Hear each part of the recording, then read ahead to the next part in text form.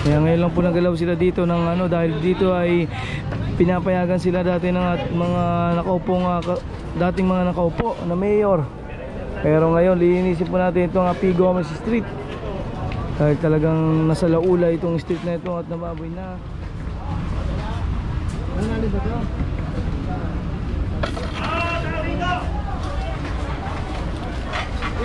Mga kabayan, sobrang dumi na talaga.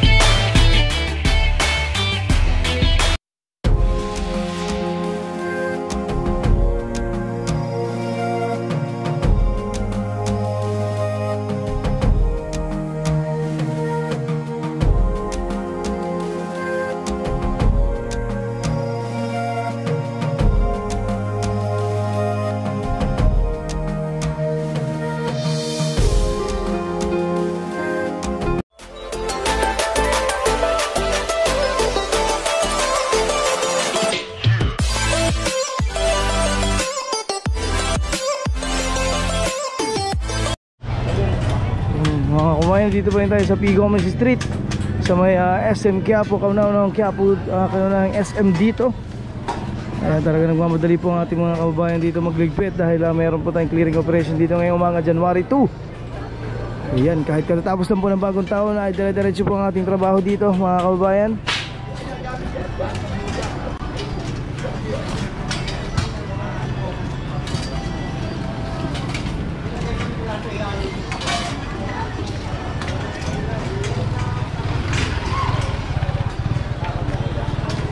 Ayan, ang dami pong mga tent dito mga kababayan.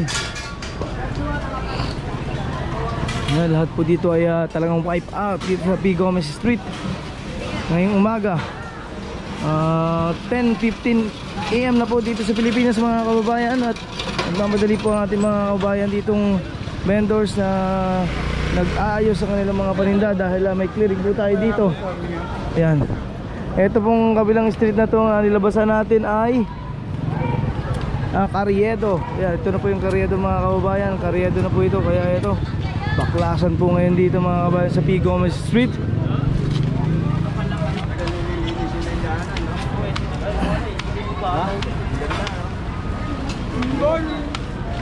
Morning. Kaya po ito narinig natin mga kababayan natin dito nga namamasyal at namimili dito eh, ang ganda na daw po dahil lumaki na po ang daanan dito at nakita na po ang mismo nga daanan ng P. Gomez Street. Nalinis na po kaya sabi ng isang mamimili ay napakaganda na pong ah, maglakad dito at ah, mamili. Dahil yung mga store po na nasa likod yan nakikita na po natin hindi katulad noon na nakat natatabunan po sila na itong mga tent na to. Tingnan nyo po yung mga tindahang optika galleria ay hindi na po makita dahil sa mga naka pwesto dito mga naka tent ng mga kababayan natin vendors dito. Ito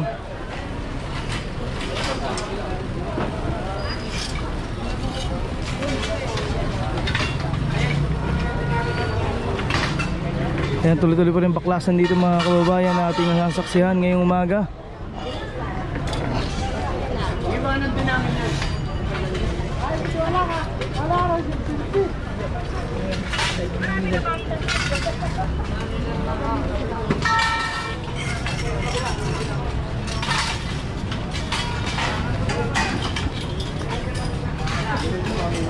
Ay,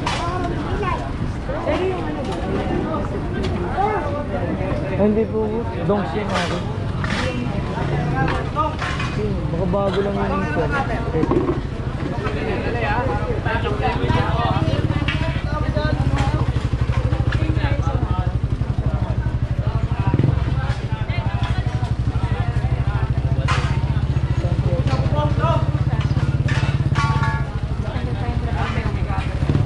Ayun, yun lang yung akin.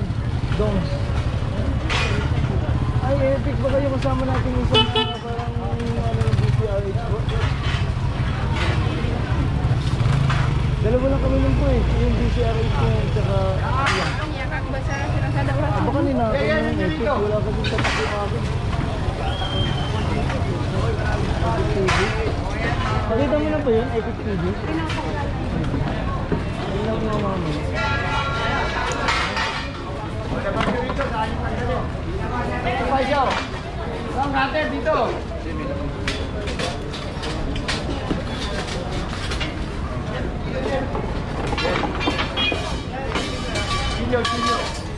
Yan, ah, baklasan po ng mga tent dito mga kababayan. Yan, dire-diretso po. Ay, isa pong kahabaan ito ng P. Gomez Street, talagang wipe out. Anong natalag ka yung mga unang mga? Ano mo? Di mo tababagak ko eh. Babagak ka dyan.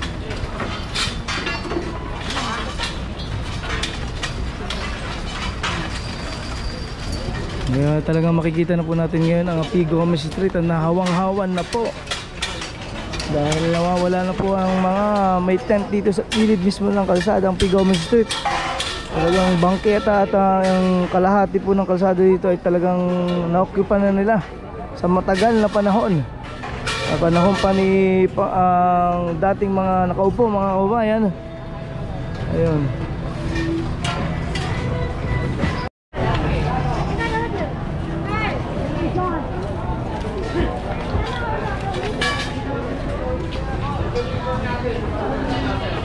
Kaya ngayon lang po nagalaw sila dito ng ano dahil dito ay pinapayagan sila dati ng mga nakaupong ka- dating mga nakaupo na mayor.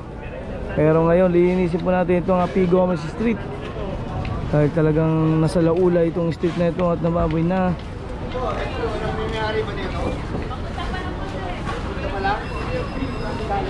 Ayan, nakikita po natin yung mga kalat sa ilalim ng mga kanilang paleta. Kanilang mga pwesto dito mga kababayan. Ito. Ito papakita ko sa inyo mga ilalim ng paletang ito.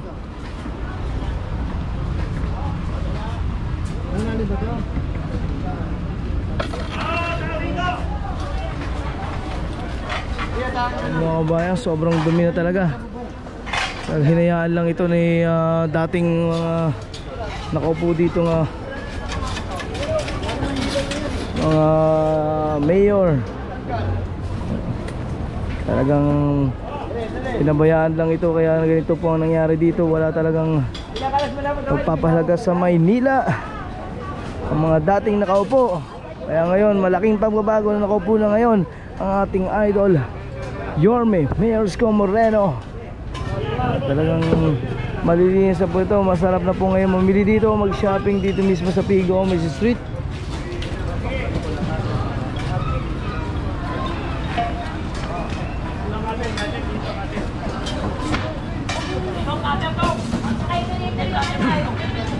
Bakit sirik lahat pala yun?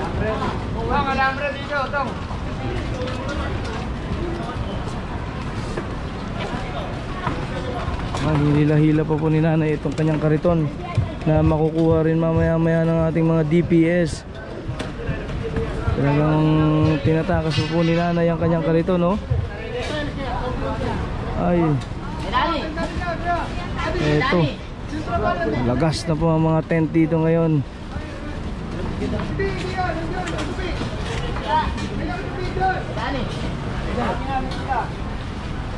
Tong, tubig oh. Isa.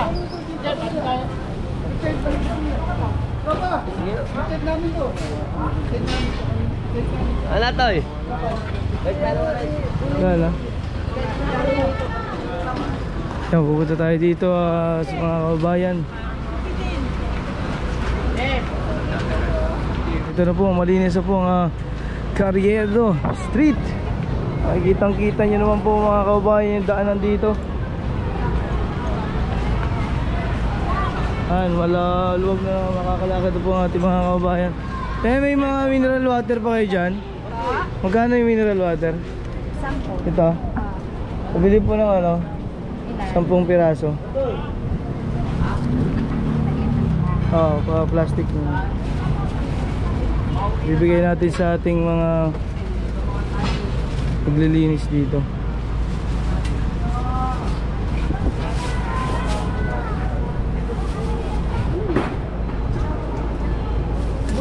Wala pa si dyan. Ay, yun po ang hindi po namin alam na info kasi talagang ano po eh, naka-confidential yung mga lakad po ng lahat ng ating mga ano po, mga nagki-clearing, inuutosan ng ating mahal na mayor. Opo. Sige. Wala. Wala ng pula? Ate. Ay, sorry, sorry. Oh, marami na kuya. Politiko. Ayan. Tuwipad pa. Salamat. Noodles ka? Ay ko. Actually, Sige, sige. Sir, oh. Kulang eh, nakita ko sila eh. Tropo. Ayun sila sir, sir. Tubig oh. Kulang kanina eh.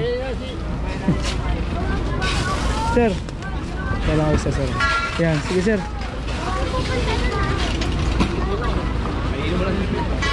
Yan po, dire-diretso pa rin po ang mga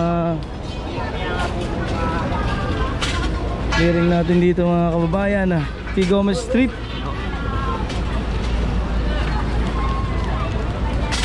Na, yan na! Pariedo! Ayan yung pariedo no? Ayan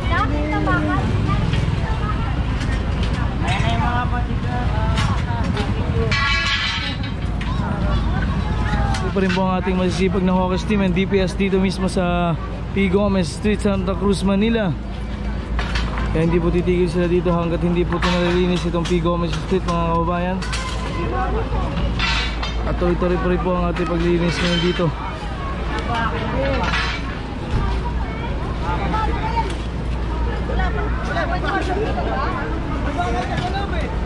Mga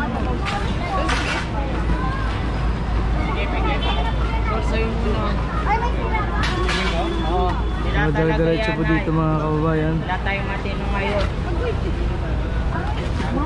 Yan, talagang nung nandito po yung mga tent, eh, hindi po makadaan itong mga tricycle na to ngayon. Ito po, nakakalusot na po mga kababayan. Yan, tuloy-tuloy po rin ang paglinis ngayon dito.